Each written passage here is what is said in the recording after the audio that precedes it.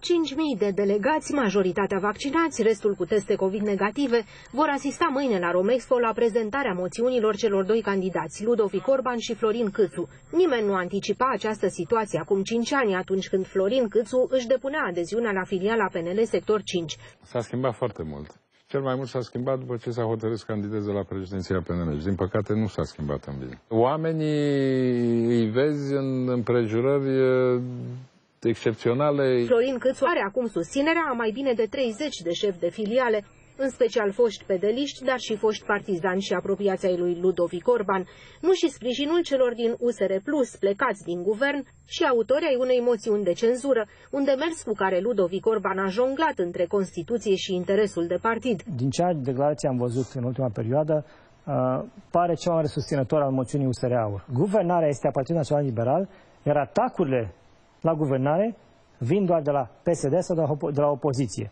nu vin din propriul partid. Neimplicat oficial, dar cu semnale pro-câțu pe căi informale, președintele Claus Iohannis va participa la lucrările Congresului de mâine, o premieră ținând cont că a absentat la Congresul din 2017. Nu cred că este treaba președintelui încă în funcție să dea ajutor unui candidat. Ar trebui să-și vadă liniștit de treaba de președinte, fiindcă are destulă treabă, și să lase candidații și campania electorală să se desfășoare după regulile unei campanii electorale. Miza rezultatului acestor alegeri depășește logica de partid.